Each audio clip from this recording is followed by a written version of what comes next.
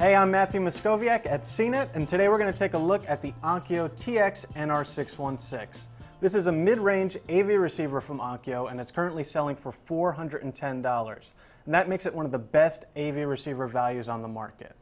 Now, the design is nothing special on the Onkyo. This is a big, bulky AV receiver, and the front panel doesn't look quite as refined as models from, say, Denon or Marantz. The included remote is decent, although the buttons are pretty small and it's a little more cluttered than it needs to be. Around back, you'll see why this receiver is such a good value. Including the front panel input, there are eight total HDMI inputs, which is two more than any other receiver at this price. The only catch is that there's not enough input buttons to access all of the inputs directly from the remote, so you'll need to navigate the on-screen interface to get at that eighth input. The front panel HDMI input is also MHL compatible, so it'll work with phones that support that new connection type.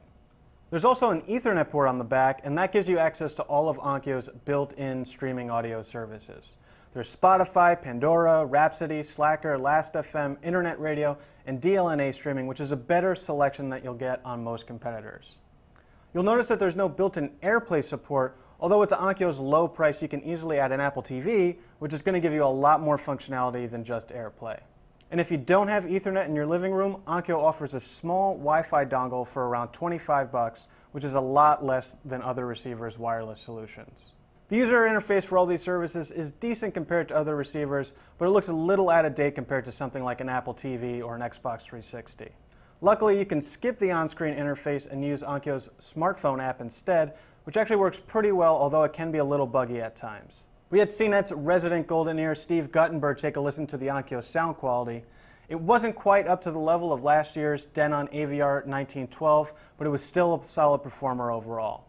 Blu-ray concert discs sounded great, as well as Blu-ray movies, although the Denon is slightly better, especially with movies. Really, the only thing that gives us pause about the Onkyo are some early complaints about firmware glitches. We didn't run into any major problems with our review sample with the latest firmware loaded up, but some buyers have definitely had issues. But that doesn't hold us back from thinking the Onkyo is still a tremendous value overall, with tons of HDMI inputs, a cheap Wi-Fi adapter, and lots of streaming media services. If you're looking to buy an AV receiver, this model or one of Onkyo's step-down models should be on your short list. I'm Matthew Moskovciak, and this is the Onkyo TX NR616.